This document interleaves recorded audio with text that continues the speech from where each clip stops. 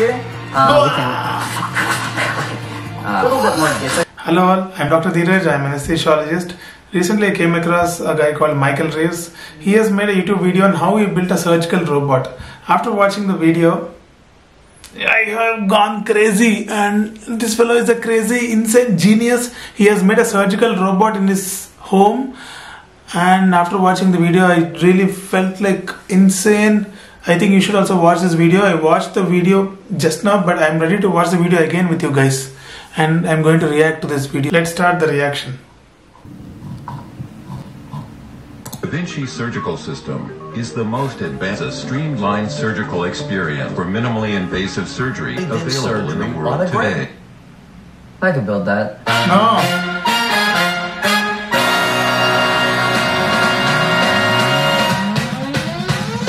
How's everyone's global health crisis going? My house is on full goddamn quarantine, and I'll probably be dead in a week anyway. Not from the virus, like like a electrocution accident or something. It's actually giving me a lot of free time, and what better way to spend free time right now than to help the medical industry? Now I can't do any chemistry or biology or like body stuff, yuck, but I can do robotics. And let me tell you, those Da Vinci surgery robotics rat bastards are ripping hospitals off. Look at this, two million dollars for one shitty robot. They What he told is actually true. So so much of uh, amount for each robot and also you need to buy the consumables in the form of the the hands that we use and if any repairs come uh, we need to buy the annual maintenance charges again for the companies so guy is trying to do is actually good. He's trying to build a robot at a cheaper price. That's what he's trying to do. Michael reeves you are great You can spend that on a couple hundred bandages or like one ambulance ride in the US. We can build a better surgery robot for a lot less. Come on. The biggest flaw in Da Vinci's design is that it relies on these clunky, slow robotic arms for movement. Say you're operating on a patient's foot. He starts screaming out in pain. You gotta get up to his face, smack him around a little bit, make him shut up. Good fucking luck with these robotic arms. They're slow as shit and they don't have any travel distance. Instead, we're gonna mount the surgical tools to a rail system that can move anywhere on the operating table. Hey, look, it's past Michael. You know it took him five whole days to 3D model and build one rail carriage? What a dipshit. Hey man, shut the fuck up. This shit's hard. Maybe you little bitch. I'm the narrator. I'm like God. You can't kill me. I'm Here's what the final carriage looks like. You see, it uses wheel bearings to travel up and down the slots in this aluminum rod. But Michael, you're just gonna use your hand to make it move? No, you're stupid, and I hate you. For power, we're using a brushless DC motor and an O drive to turn I am really not understanding what he's trying to tell. I am a doctor. I'm not a mechanical or electrical engineer. But what I'm understanding is he is actually going into details of how the Da Vinci works and how the the uh, technology is there inside, and he's trying to build it in a proper scientific way. I think so, an engineering way. And this into kind of like a brushless servo motor. Do I know what that means? Absolutely fucking not. I've never done this before. What I do know is someone told my voice cracked. what I do know is someone told me this would be fast and very accurate. And all you have to do to put it in is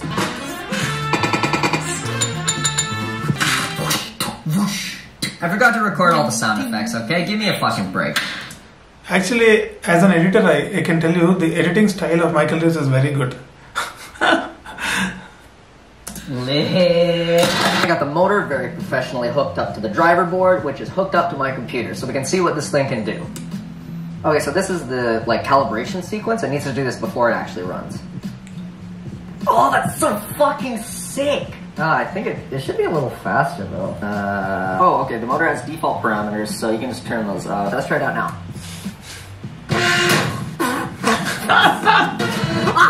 no, oh! Such kind of movements are not allowed in human body. In human body, the movements need to be more precise and fine, and very slow movement should be there. Such kind of movements will lead to a massive disaster inside the operating room. Oh, bad, bad, bad, bad. That's good. That's that's fast. Give me one second. Okay, you just stand, stand right there. Whoa, it's pretty cool. We just gotta put a few of these together, and it looks like this. I did the quirky little snap teleportation thing, right? That was three weeks ago. I'm fucking tired. But I built this test platform out of aluminum and wood that I stole from my girlfriend's bed frame. It's not like I can go to Home Depot and quarantine. This is a prototype, so I can write and test the software hmm. before I build the actual thing, but even the prototype is pretty cool. It's the same idea with the motor carriage on the x-axis, but now I have two additional motors on the y-axis. And on their own, they're just motors. They don't know how to talk to each other, they don't know how to cooperate, but if you write some software that can talk to all the motors, you can make it do pretty much anything you want. This is the homing sequence. It figure out some... So actually, this guy has uh, gone through how the Da Vinci works. Even Da Vinci works on some kind of a pulley system. So this guy is actually trying to make it in a proper way. Let's see how it goes. bounds of the machine by measuring the amperage of the, of the motor, on the motors when they stop. yeah, you can make it. You can make it do this shit. It's maybe not as stable as you want it to be, but yeah, it's just a prototype. It is not stable, man. Please make it more stable. Even though it's a prototype, but still, such kind of movements are not allowed in the operating room and human body. so stupid. So I'm controlling it with my mouse right now. It looks jerky and awful, but it's actually got a really good amount of precision to it. It's kind of going in a circle from the top-down view. Like I said, this is not the final surgery robot. It's going to be much more refined, much more medical looking, you know, much more safe for the user. And all that movement was controlled by the code I wrote. Don't worry, I'm not going to show it. I know everyone thinks it's boring. So we I don't give a shit what you think. Look at this dynamic bounds detection routine that's fucking sick. Here's a limit switch. You can put it here to the bounds of your machine. Yeah, fuck that limit switch. It's crazy. Instead, some code that sets the motor forward until it starts using a lot of power. Then you know you hit the edge of the rail. Then you know exactly where you are in relation to the balance of the machine. It's fucking sick. Look how cool the code part is, guys. I'm gonna keep going. This part applies the scaling factors that are calculated as a function of the input. But Michael, I hear you ask. So you can move the carriage over any part of the operating table you want. Great. But how are you going to move the medical tools up and down to engage with the patient? Well, that's where the carriage utility mechanism comes into play. That's the thing that's going to move the scalpel or the clamp or whatever up and down, which is great. There's just a So now I'm understanding what he's trying to do. Till now, we tried to create a moment in the x-axis, but actually during the surgery, you need another moment, which is up and down to pick up and grab the organs or a tumor, which whatever you're operating. So now he's trying to do that. Small problem, slight problem. Well, I built it. I built it, which is a good thing. My original plan was, you know, just to have a thin piece of plastic with a motor attached to it that moves a plate. Easy. But then I fucking, I saw that thing. Okay, there's no way that's gonna survive, so I gotta make it a little strong. You know, I may as well make it go a little faster. I got a little carried away, now it looks like a time bomb and it weighs 10 fucking pounds. It works great. The motor precisely moves the mounting plate up and down wherever you want it to go. The thing is, I just don't know if those motors I don't know sir, whether he is building that or somebody is building for him. They are looking like a massive uh, technological items. He's already built a big machinery can now. handle 10 pounds, so we're gonna have to do a little test. Michael, why don't you just use the carriage utility mechanism to test it out? Well, it took me a long time to build, and it's fucking beautiful, so prime work. It looks like it's handling small movements pretty well. Y axis action. Now this is a, a very accurate way of testing. So what happens is after you build a, a particular structure for a robot, then all the arms and everything will hang from the robot. So you need to test it with different weights so that it doesn't fall on the patient. Okay, that's not that bad.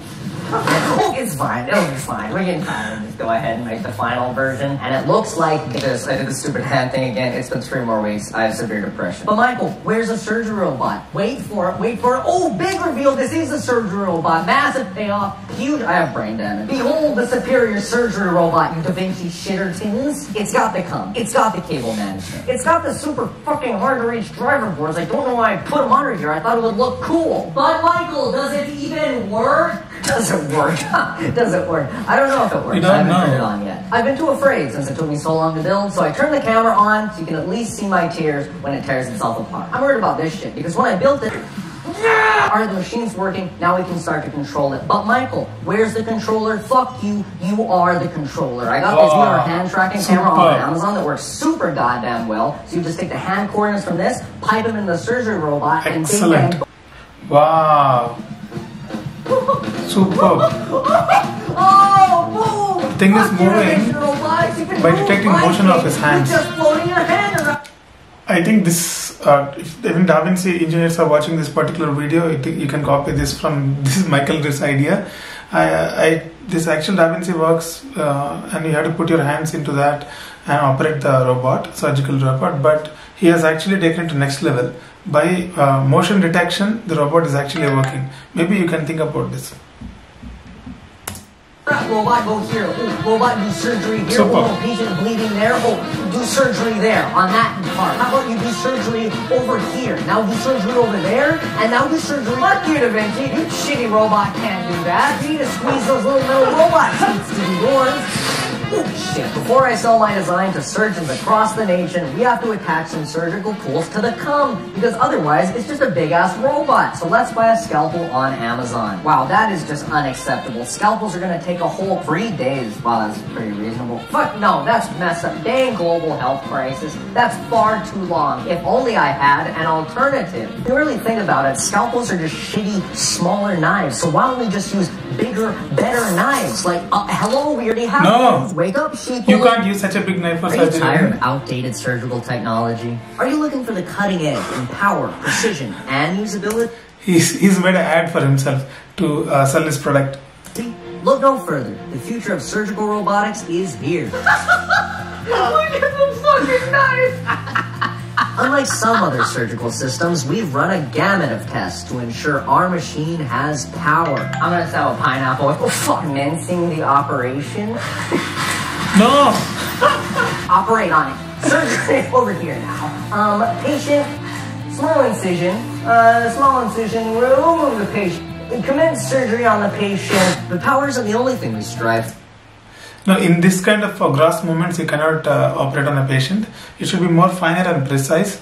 Let's see whether he is going to achieve that or not. He is still maybe in the intermediate level of uh, innovation. for. Precision is an essential tenet of surgery, Yeah, and we that's make what it's- no precision is essential. testing for accuracy. What the fuck is that? Hey, you're here to do some painting?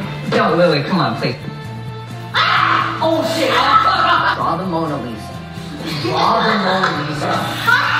Okay, oh, another thing, another thing. Eyes. What are you doing? That's a little racist looking, Lily. I'm not. You know? Ah, shit. Yeah. Yeah. I'm not gonna pressure you, but this is supposed to show. Yeah, see, to paint any object, you need a lot of precision. I think he's trying to do that. He's trying to, uh, you know, get his girlfriend draw a painting so that he's actually trying to refine it better. show how accurate my machine is. It'll be so long. He's not able to do that. Let's see a Da Vinci try to do that. You might be wondering, is the system FDA approved? No, it's not FDA approved, But don't just take our word for it. Here's what a real medical professional has to say about this innovative new technology. We're gonna go for like a laparoscopic appendectomy. So we just make a small incision above the chest scope for some procedures. But We don't want to buy this You robot. see, still have a lot more accurate control than a lot of surgical systems. Fuck.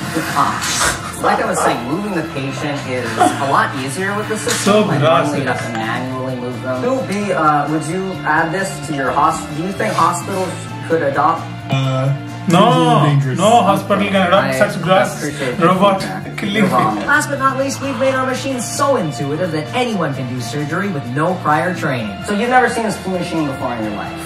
It's perfect because this study is to see if we can bring someone from zero skill level all the way up to the ability of a surgeon. Boot up right in front of, not too close because it's kind of dangerous. So just put your hand up. He's scaring Put your hand out her. Scaring above the shit out of her. Higher up controls the knife position. You can move it further closer and it'll get further away from you. We're gonna make a small incision right above. It's actually a good idea. here. Oh, there's someone sick. There's someone sick. They're trying to do a neurosurgery here, and you can see how gross it is. I don't recommend this for any kind of surgeries. Okay, so you're doing it wrong. Oh, shit, I'm. So clearly, well, fuck. I don't know from where he got this blood, artificial blood he has created to create the inf- uh, effect in the Oh, video. cut. You're clearly doing another incision to stop. Plug the hole with the knife. Yeah, yeah, perfect. Knife. Yeah, perfect. Oh, oh this. What's? It's okay. No, it's fine. It's it's learning. It's a learning experience. Try and retract the knife from the. Actually, brain surgery, the robots are not totally evolved. Many companies are trying to do them, but uh, they actually only give you a kind of direction and depth. But none of the robots are actually going inside and operating like how they do in abdominal surgeries and cancer surgeries and prostate and uh, uro- urological procedures. So let's, let's just try and get it out of. Yeah. It's yeah. Even his girlfriend is little.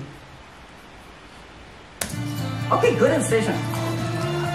Ah! If your patient's over here and you don't want him to be over here, move him over here. Do some surgery over here. Move him back. I don't even know what surgery this is supposed to be. Thank you for watching. That concludes research and development for my surgical system. If you're a hot This is not research and development. This is more like killing people.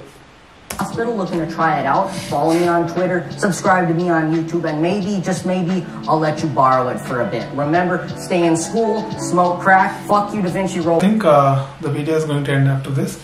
So this fellow is a crazy genius. The way he built the surgical robot till last seven, last twenty five percent of the video, I think is done for just comedy and fun.